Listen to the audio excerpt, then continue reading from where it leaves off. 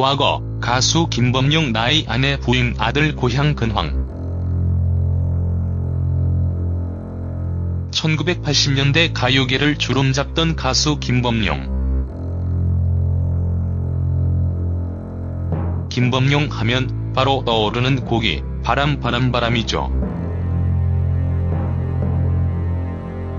가수 김범용 나이는 1960년 6월생으로 올해 59세. 내년이면 환갑이네요.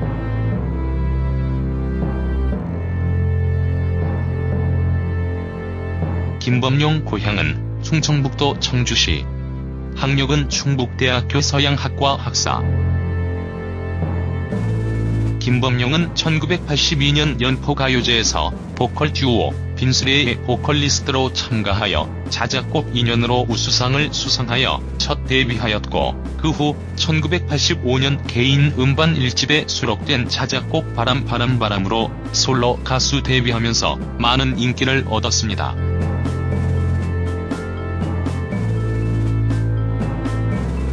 1985년 KBS 가요대상 신인가수상을 수상하였고 1986년에는 MBC와 KBS에서 10대 가수상을 수상한 바 있습니다. 2018년 7월 김범용은 지난 2006년 가수 박진광 씨와 듀엣 앨범을 낸 이후 무려 12년 만에 신곡 아내를 발표했습니다. 즉 김범룡 근황은 최근까지도 앨범을 내며 활동을 하고 있단 거죠. 김범룡 부인 크리스 강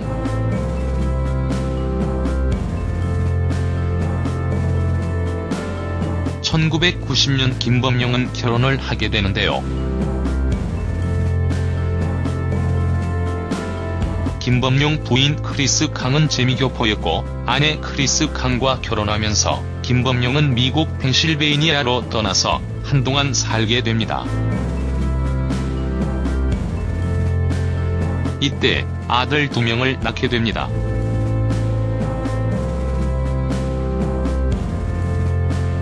결혼 후 미국으로 간 김범용은 뉴욕 예술전문대학에서 음악을 공부하기도 했고 7집 앨범을 준비해서 1992년 복귀하게 되는데 이때 실패를 하게 되면서 가요계에서 반쯤 은퇴를 하게 됩니다. 김범용의 당시 인터뷰를 보면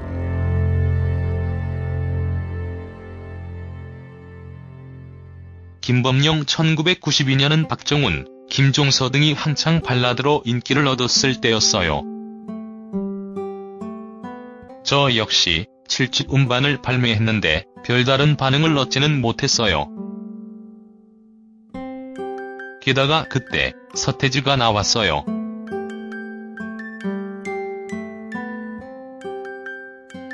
그 이후 가요계 분위기가 완전히 바뀌어 버렸죠. 그래서 내가 노래할 분위기가 아니다 라고 생각하게 되었어요. 김범용은 결국 가수 생활을 포기하고 제작자의 길을 모색합니다. 김범용이 90년대 중반에 프로듀싱한 가수들이 바로 녹색지대와 진시몬이었죠. 김범용 녹색 지대를 데뷔시킬 때 정말 엄청난 양이 음반이 팔렸어요. 연말 가요대상 시상식을 휩쓸면서 돈도 엄청 많이 벌었죠. 그 성공으로 김범용이 여전히 죽지 않았구나 라는 것을 보여준 것 같아서 무척 통쾌했어요. 김범용 하지만 IMF 터지면서 자금 문제로 큰 어려움을 겪었어요. 그 시절 건강도 많이 잃었고요.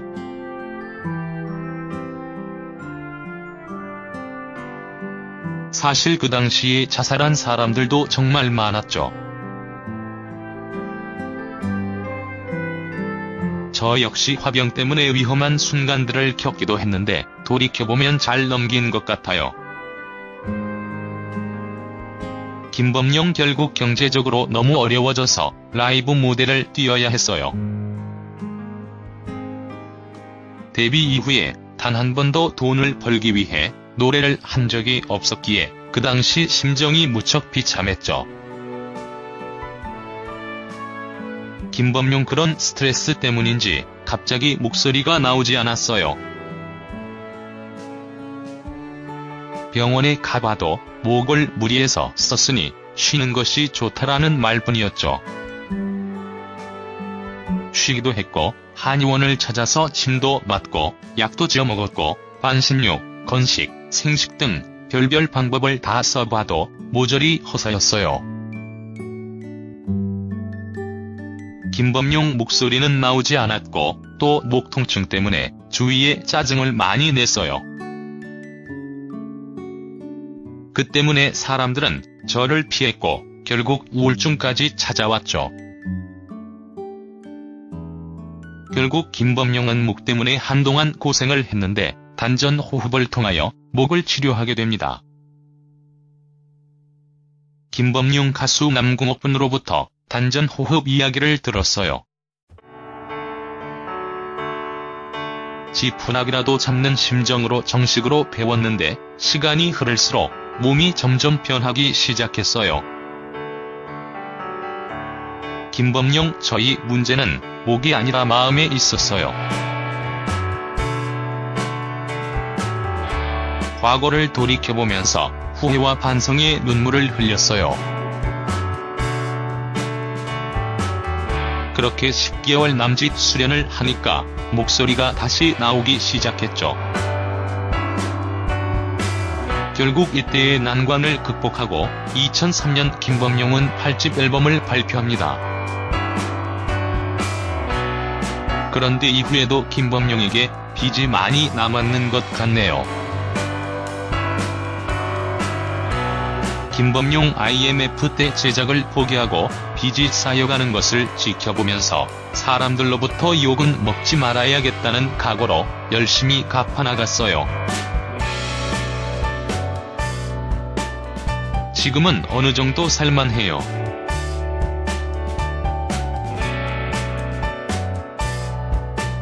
김범용 사실 요즘 가수들이 돈벌이가 힘들어요.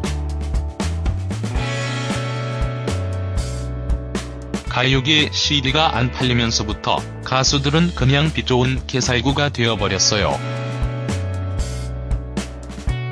정말로 부업이 없이는 활동하기 힘든 상황이 앞으로 올 거예요.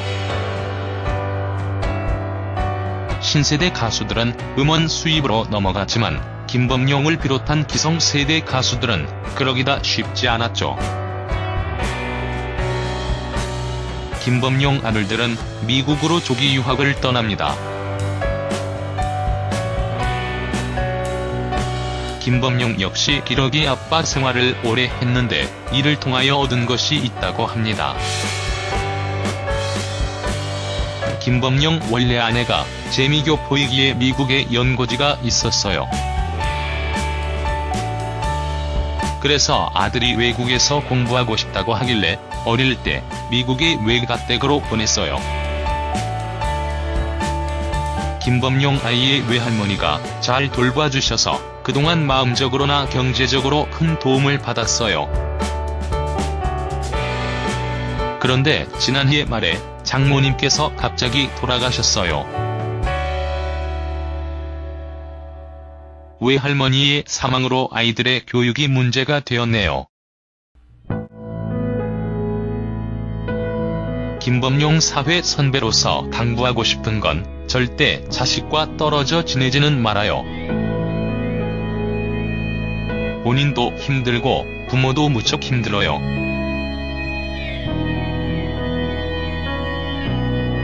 최근까지 김범용은 활발하게 활동하고 있습니다. 김범용 오랫동안 가수로 활동했지만 여전히 악상이 자주 떠오르는 편이에요. 요즘도 좋은 멜로디가 떠오르면 자다가도 벌떡 일어나서 메모를 해두죠. 김범용 제 건강만 허락된다면 음악을 기반으로 다양한 일을 하고 싶습니다. 예나 지금이나 음악을 만드는 것이 좋고 사람을 만나는 것이 좋다 보니 앞으로 더 많은 소통의 장을 마련하고 싶네요. 김범용 또한 봉사활동도 꾸준히 하고 싶어요. 실제로 김범용은 한국사랑봉사협회의 홍보대사로 활동하고 있는데